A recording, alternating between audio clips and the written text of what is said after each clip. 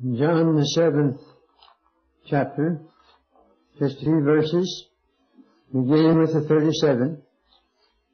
In the last day, that great day of the feast, Jesus stood and cried, saying, If any man thirst, let him come unto me and drink. He that believeth on me, as the scriptures said, from within shall flow rivers of living water. This spake he of the Spirit, which they that believe on him should receive. For the Holy Ghost was not yet given, because that Jesus was not yet glorified. Our Lord was at the Feast of Tabernacles. They were commemorating their deliverance, and many years passed in the wilderness, with the water from the rock. The priest would go to the pool of Siloam and fill a pitcher with water and carry it down the street followed by a throng of people. And at the temple, he would pour out the water by the altar while all the people sang Isaiah 12:3. Therefore with joy shall you draw water out of the wells of salvation. It was such a hilarious occasion that it was said whoever has not witnessed it has never seen rejoicing at all.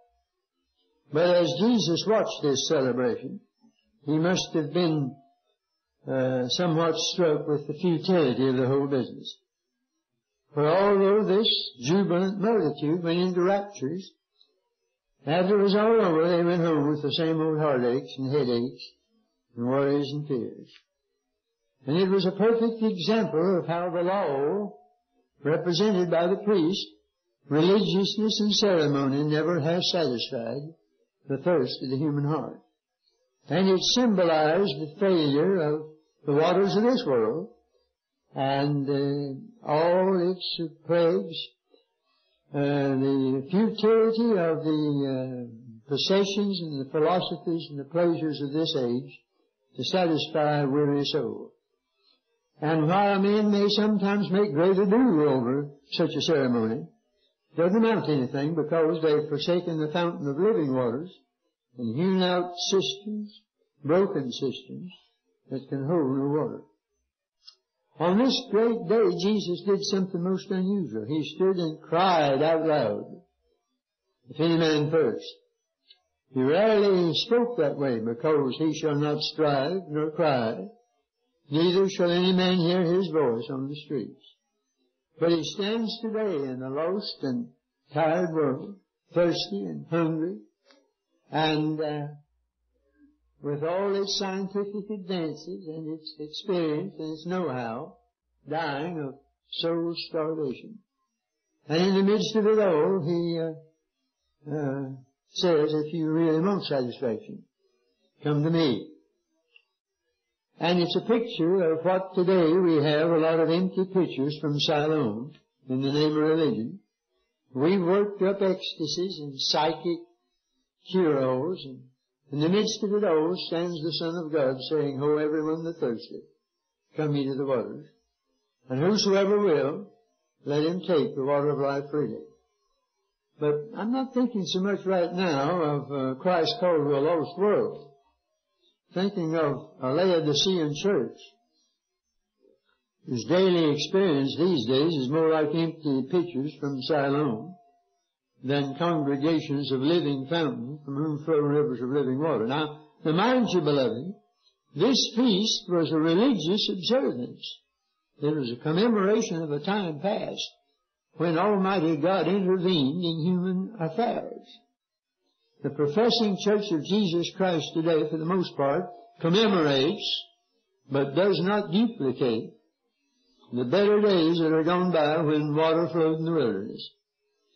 The experience now has become a performance, and what was fundamental has become incidental.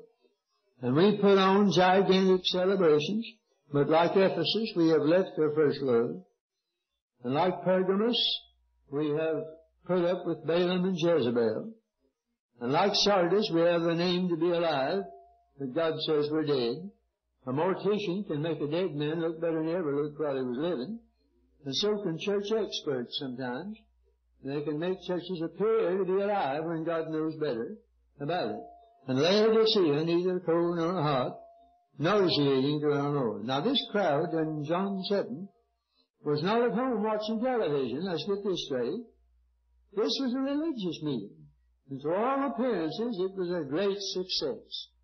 And it probably came out in the papers. what a wonderful time they'd had. Quite a celebration. But God knew better.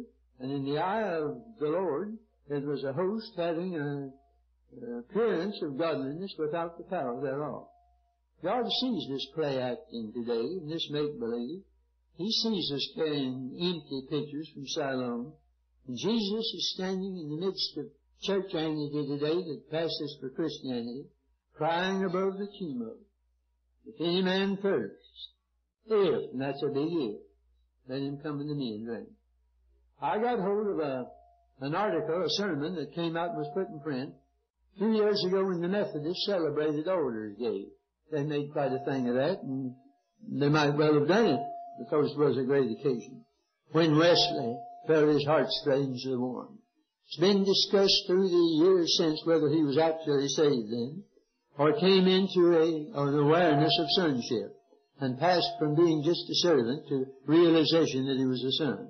But however that was, uh, this preacher spoke at the big get together about Aldersgate and preached a sermon that was really terrific. I practically wore it out, carrying it around with me.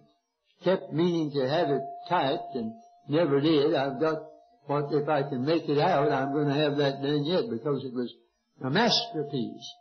And he said the trouble is we commemorated, but we did not deprecate.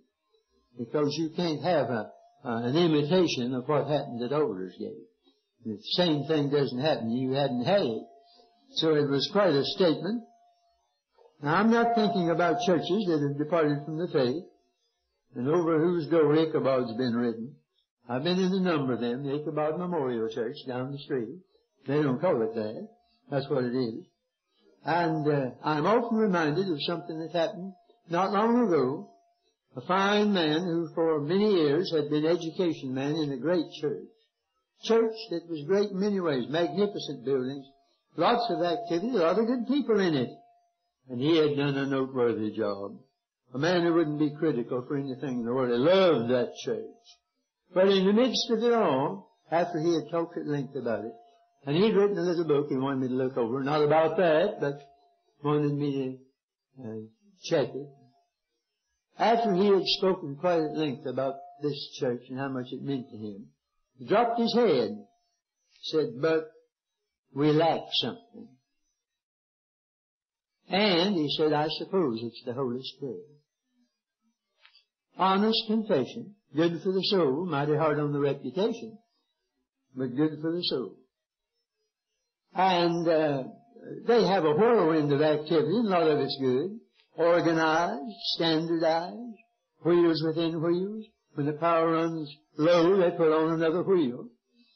Drives, campaigns, pageants, dramatics, expos, expos, picnics galore, but like the big celebration at this Feast of the Tabernacle, an empty religiosity all too open, and you hear above the noise and the tumult the Lord shouting out, which he wasn't accustomed to doing. Throw away your empty pictures from Siloam and come to me, and I'll make you a fountain of blessing. Now what did they lack and what do we lack in a lot of our religiosity today? And we have a lot of it. Well, I think my friend was right. Uh, we sing, Oh, brethren, we have met to worship and adore the Lord our God. Won't you pray with all your power while we try to preach the Word? All is vain unless the Spirit and the Holy One come down. There are three kinds of, of worship. There's IDOL, idol worship. There's IDLE, idol worship. And then there's ideal worship. God says that must be in spirit and in truth. Sometimes we're a long way from it. A Christian's a new person, born of the Holy Spirit, and he cannot know Jesus well or serve Him acceptably in that old nature. I'd hate to think how much of our religious activity today is being carried on by the old Adam. The flesh. Now the flesh is not the same thing as the body. You have to have a body to run around in. But the flesh is that old Adamic nature you still got it. I know there's some of the brethren saying theirs has disappeared, but I haven't been convinced along that line. And uh, we try to serve God with it. We can't do it acceptably because they that are in the flesh cannot please God, the book says. And that's why not many wise, mighty, and noble have been told that no flesh should glory in His presence. That's one reason God picked out just the ordinary folk. Not many wise, not many intellects, because uh, they're trying to get to heaven head first, and you get their heart first. The only thing I know of got his head and heart in the same place is cabbage, and you don't go to heaven that way. Wise and the mighty, how many presidents of the United States do you think of you believe were genuine, real New Testament Christians? We're not judges, but you worry a little about that sometimes. Now I think we had some, and I'm no judge, but I think that uh, William McKinley, for instance, was a genuine Christian. And when, after his assassination, as he lay dying, the doctor was much impressed with the fact that here was a man who was ready to die. And uh, he'd been ready to live. And there are others too. We've had some wonderful people in Washington. William Jennings Bryan was a great Christian. They never did get to be president. But we've had, but by and large, not many mighty, not many noble, not many of the blue bloods. Ancestors came over on the Mayflower or something. And uh, they're still proud of it, you know. The trouble with this ancestry business is good deal like sweet potatoes. The best part's usually under the ground. And so I don't brag much about that. But God has not picked many out of any of those outfits in order that no flesh should glory in His presence. The alarming thing about all this today, beloved, is we can put on a gospel pageantry. We can do it now with all modern TV show business and Hollywood and the new music and theatrical cleverness and looks like the real thing. And even the elect sometimes are deceived. And uh, to say a word of caution about it sounds like blasphemy to those who are deceived thereby. But Jesus wasn't deceived, and as great as this looked, my, the big day in Jerusalem, and a religious big day, and yet uh, he not only spoke in a way that didn't show out and out approval then, but you have almost the same thing, Matthew 11, where he began to upbraid the cities wherein most of his mighty works were done because they repented not. Woe unto thee, Chorazin, woe unto thee, Bethsaida, for if the mighty works which were done in you had been done in Tyre and Sidon, they would have repented long ago in sackcloth and ashes. And then he turned on Capernaum. He said, concerning these others, it'll be more tolerable for Tyre and Sidon the day of judgment than for you. Jesus' hometown was Capernaum. He was born in Bethlehem, lived in Nazareth, but he settled in Capernaum And in order to fulfill the prophecy about the light had come. He came to be the light, and the trouble there was that which are exalted to heaven shall be brought down to hell. For if the mighty works which had been done in thee had been done in Sodom of all places, Sodom would have remained into this day, but it'll be more tolerable for the land of Sodom in the day of judgment than for thee. Now that's a terrific thought. Sodomites were uh, homosexuals. That's where the thing is, stands out in the record.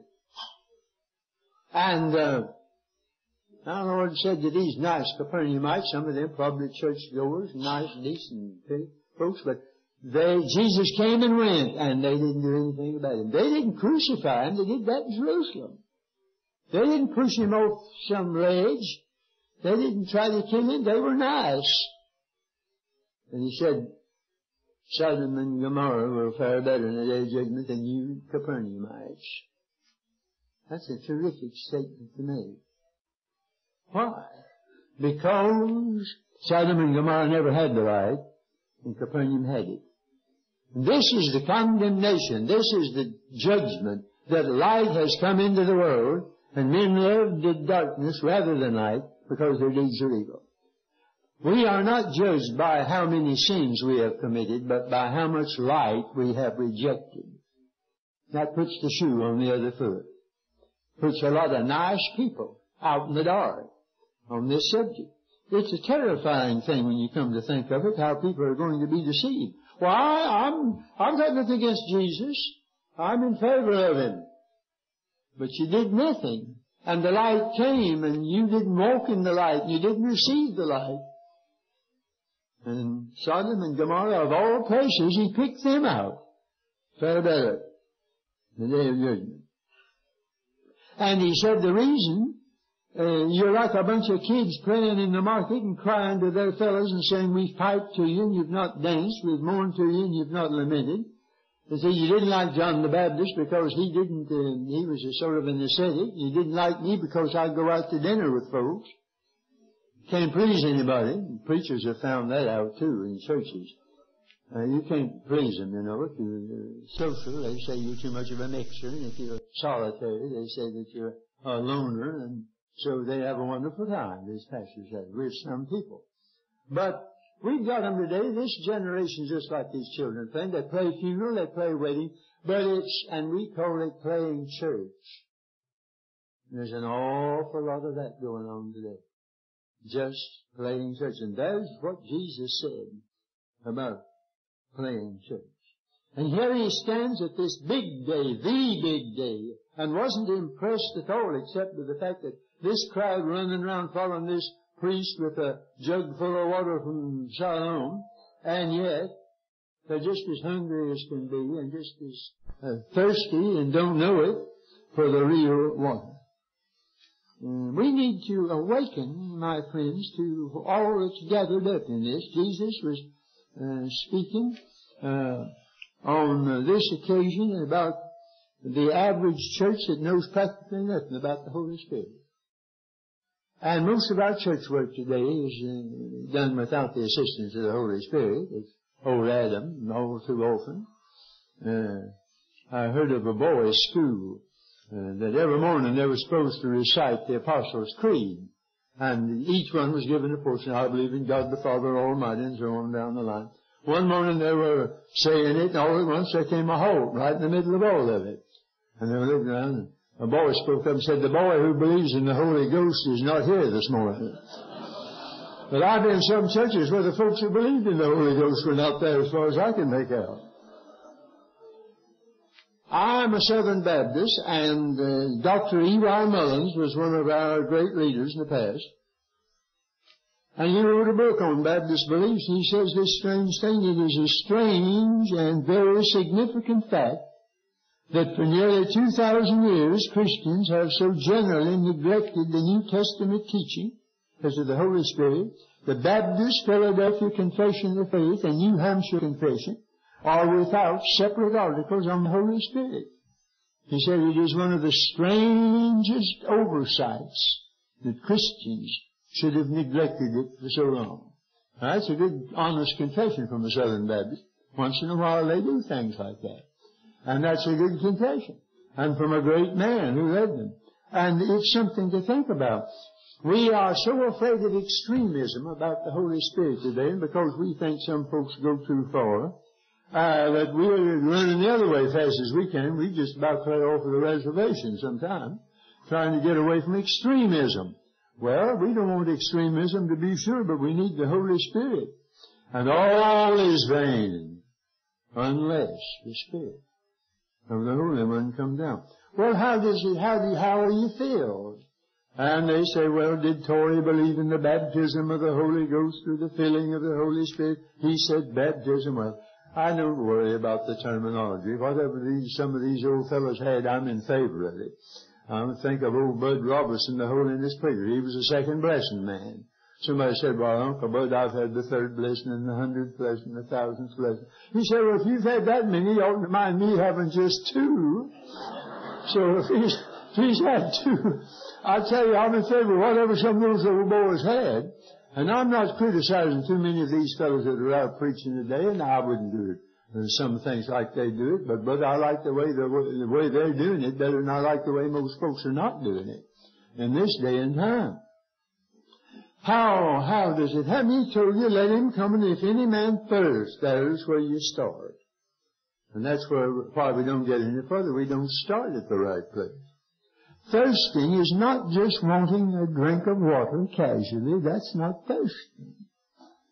When you get to the place, and sometimes people do, where the only thing you can think of is water in your desperation. Nothing else will satisfy and you're dying for water. That's thirst. Abject thirst. If any man means business and is deeply concerned about it, thirst. Have you ever thirsted for the fullness of the Spirit? Have you ever hungered, really felt soul starvation in your innermost being about all of this? If any man thirst, let him come unto me. What do you have to do next? Drink, receive, uh, take. Just that simple.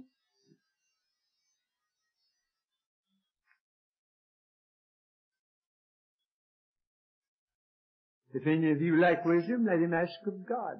Give us liberally and upbraid us not, and it shall be given unto him. But let him ask in faith, nothing wavering. And the next word he uses here, believe, he that believeth. Ask and then believe you have received. Mark 11, 24, whatsoever things you desire when you pray, believe that you receive them, you shall have them. Some folks ask God for wisdom, then they, they get up in their knees, well, I don't feel any different. Well, you didn't ask for feeling, you asked for wisdom. Why don't you take God up on it if you meant business? If you mean business with God, God means business with you. He wants to give you as much wisdom as you need for the occasion. We ought to settle with Him for Him. That's what Mark 11, 24 and other uh, kindred verses mean. Thirsting, coming, drinking, believing, overflow. Five steps. The overflowing will take care of itself. That's the result. But it begins with thirst. And it's not just casually well, it must be lovely to be filled with the Spirit. Yes, I'd love to be filled with the Spirit, and that's all you ever hear then about it. Nothing ever happens. Be not drunk with wine, but be filled with the Holy Spirit. We must watch these earthly intoxicants and excitements and stimulants by which we try to simulate the work of God. But we must uh, drink and believe we've received and enjoy what we do have of it. I think some people get go to the other extreme and they don't enjoy what they do, do have of God's grace, and we ought to. And that's tasting the powers of the age to come that you read about in Hebrews. Are you enjoying as much as you've got of the grace of God? Uh, I like to study birds, and uh, the other day I heard over TV about some fellow who's just an ardent and avid bird watcher, and he's got a lot of money, and that's a sort of a hobby. And uh, Somebody will call him up from the other side of the United States and say, well, saw, saw a one-legged woodpecker or something out here in a tree somewhere. He jumps in his car, in his plane, got a private plane, takes off clear across the country to see that odd bird. Because the last year he was trying to see, I forget how many more new birds, and he wasn't enjoying the birds he had seen, trying to find out other five or six or what it was. I don't want to get that kind of religion. I, I want to enjoy what I have got of it. And uh, there's enough of it, I hope, that you have to enjoy what you do have, and at the same time keep on drinking. And when you come to the Lord, remember that uh, if it's according to the four accordings, why you can expect results. His word, His will, your need, and your faith. If what you pray for is according to His word, according to His will, according to your need, it'll be according to your faith. You can't miss on that. And uh, we thank God for these men who have set a worthy example through the years. Time fails me to tell about George Fox and about Wesley and about Whitefield and about Christmas Evans and about Finney and about Meyer. F.B. Meyer, he had worked himself almost down, longing for the fullness of God, and he was just almost sick. I mean, he was at Keswick in England. He climbed a little hill and said, Lord, I'm too tired to even pray. But I realized the need of the fullness of the Spirit. And with the same simple faith with which he took Jesus long before, he took and accepted. Came down the mountain. He hadn't gone up there for feeling, he'd gone up there for filling. Which is something, that's what the old Len G. Broughton, it used to be at Baptist Tabernacle in Atlanta. He went down to a church wasn't the same denomination. They had folks up there praying to be filled. He went down, criticism or no criticism, and He didn't shout and he didn't holler, but he settled with God about it. Anybody here tonight doesn't have assurance? A lot of dear folks. Um, Criswell of Dallas, after he started preaching, didn't have assurance. And I rode with him one day and I'd read about it and I said, tell me about that. Is that right? Yep. He said, I would preach in the morning, be on my knees at night trying to feel saved. Said he couldn't.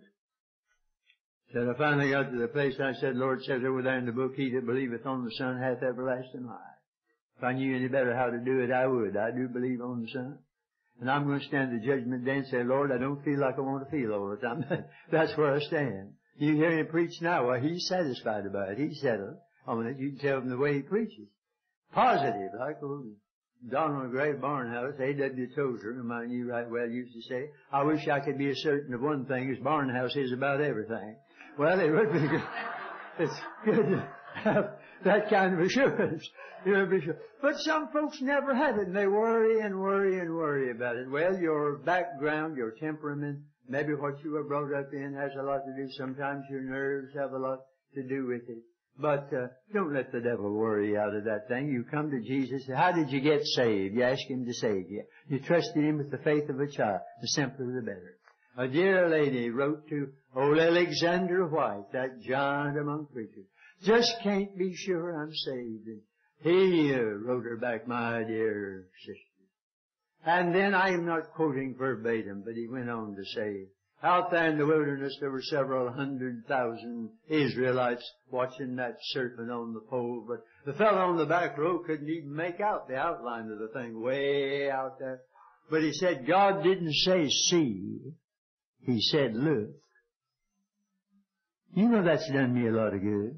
There have been times when I couldn't see. I thought oh, to do these two. But God didn't say that. Look unto me and be ye saved. All the ends of there. Where, where are you looking these days? Looking unto Jesus, the author and finisher of our faith. That did me a lot of good one time in my life when I was bothered along that line. Your feelings, your nervous condition, your health, circumstances can get you down. And the devil, of course, knows where the weak spot is. And if he can get saints to think they're uh, lost when they're saved and sinners to think they're saved and they're loath. he's having a picnic. You can be sure that he works on both sides and has a lot of results with both of them. But it's, it's a simple thing, coming to be- and believe. Uh, let me ask you tonight. How, how, do you know what it is? Did you ever know in your life what it was to have a desperate thirst for the fullness of God? Uh, do you know anything about that? I, I love to think about that precious verse, He hath filled the hungry with good things, and the rich He hath sent empty away. That's over there in Luke 1, in the Magnificat of Mary. And I watch people go out of church sometimes I say, there goes old Sister Smith. I know her, bless her heart, she loves God. She came this morning hungry, always does, for more. And she got it. So she came for that. That's what she came for. Yonder goes Deacon so-and-so. He's a businessman in good shape. He doesn't need anything. Rich and increased is good. He'll go to the Lord's table and have his cocktail the next day and everything's okay, you know. Oh, I don't mind belonging to the church and helping out some. And if they're getting a pinch, he gives them a big check and so on. But he goes out empty, just as empty as he can be because he came in that way and wasn't hungry. Wasn't anything he wanted to begin with. They blame the preacher sometimes, but uh, generally it's because you didn't thirst, you didn't have hunger when you went to the Lord's house. What did you come for here tonight? Did you come with a hunger? Is there a thirst in your heart for a blessing from God? You get what you go after. Some folks don't go to church with a basket to get a blessing. They go uh, with a um, spyglass so they can find something to grumble about, you know, hunting for something the preacher said that they can argue about. What'd you bring to church tonight? Oh, if you bring an empty heart that needs filling and a hunger after righteousness, God will meet you. The trouble today is Laodicea, and it didn't need a thing. God can't do much for folks who don't need anything much. And Jesus said here that the Holy Spirit was not yet given because Jesus was not yet glorified. Of course that means, you know, in, in death and resurrection. And the Holy Spirit hadn't come at Pentecost yet. But you're not going to be filled unless the purpose of in your heart is to glorify Jesus Christ. The Holy Spirit is never the central figure, and He doesn't lead the procession in the Bible. His business is to testify of Jesus Christ. And any religious movement that makes the Holy Spirit the figurehead is off the track. Because it's the business of the Holy Spirit to magnify Jesus Christ. And it's Christocentric all the way through. And He enables us to do that. Well, I watched them go out many a time. And I wonder what did they come in for? What did they want when they came? Well, you could talk about many others uh, along this line. Old Alexander Maclaren was a dignified English preacher, but before his congregation he said, some of you have become so habituated to hearing the truth that it rolls off you like water, we'd say like water off a duck's back. Said that from the pulpit to his own best folks. Said it's like military horses that have heard cannon go off right around them so much that they don't even tremble anymore if one's fired right by their very ears. So you've heard the truth so long. Nothing startled you very much. Well, I wonder what it'll take sometimes. He filleth the hungry. It's a good thing. But the rich. How you going out of here tonight? I will remember when I was pastor in Charleston, 34 to 39. I was much exercised about this very matter myself. I wasn't satisfied. And I, I wanted to be usable to the glory of God, and I'd heard so many things, read so many things about the work of the Holy Spirit. And I didn't want to talk to any other preachers about it, or my folks about it. But old Granny Russell lived there, and she knew God. And she sent me a book, The Deeper Experiences of Famous Christians. I took it in my room, and read it that night. I couldn't go to sleep till I read it, and then couldn't go to sleep because I had read it. And I'd get out there and walk up and down the ocean beach on the Isle of Palms. That was a good place to pray, you know, and sing. That's the only place I sing, the place like that where nobody can hear me. And, uh, God gave me a thirst. Oh, I sat up all hours and all that sort of thing, but that isn't the, the way to be blessed necessarily. However, and you, if you're dead in earnest enough to do that, there's virtue in waiting on the Lord. And uh, the Lord bless my soul. I didn't see any visions, dream any dreams. There wasn't any rustle of angel wings. Oh, that blessed song, descend, O Holy Ghost, upon my heart. That's one of the greatest in, in the book. I don't hear it sung much, but that old song says, I don't ask for rustle of angels or rending of the veil of clay, but do something about this dead, dull heart of mine. And so I settled with the Lord, and uh, I do know that that it makes a difference. So let me ask you tonight. I somehow couldn't escape from it all afternoon. And when you can't escape from a certain thing, you better preach about it. I found out a long time ago a good rule for deciding what to preach about. Talk about the thing that lies warmest on your heart at that time. You can't miss. God won't mix you up on things like that. He'll lay something on you. I look over this crowd and I wonder, have you ever known this thirst? And when you have holy desperation, you're getting in good shape for a blessing. The Lord. And that poor sick woman that had spent all her money on the doctors and was worse instead of better. Nearly dead. And one morning she got up and said, well, maybe I'll die today and don't care if I do. And then she heard a big noise outside and looked out the window, people going from every direction. What's up? Well, Jesus of Nazareth going through town. She'd heard of him. Now let's get it straight. She didn't know much about him, but she said, I've heard about him. He heals folks. Maybe if I could push my way through, maybe heal me, and I'm going to try. I don't know what she got some old rag of a dress she'd spent all her money. She must have been a sight to see, nearly dead. I don't know how she got through the crowd, but uh, she did. And ladies, ladies don't go elbowing through the crowd unless there's a sale on at the department store. And she went right through and touched him. Two little words keep bouncing up in that fifth chapter of Mark. Crowd and touch. Throng and touch. Everybody thronged him, but only one poor sick soul, nearly dead, touched him. And when she did touch him, he stopped. He said, who touched me? Poor old Simon Peter, you know. Nearly everything he said in the New Testament was a mistake, except in his epistle. Bible says, and Peter said, not knowing what he said. That's generally true. Said, Lord, why would you ask that? Who touched me? This crowd shoving and pushing. Then you won't know who touched you. Well, that's, that's, that's typical of the man, but thank God he loves Jesus anyhow. And, uh, I'm glad he's in there. It cheers me up sometimes to know there's a character like Simon Peter in the But there she was, and she was a sight to see, I'm sure. But when you've been healed, you don't care much about what style dress you're wearing on that occasion. And uh, so it was because she had a holy desperation. I never worry about anybody in the congregation that's got holy desperation and the thirst and that longs for what God's got for you.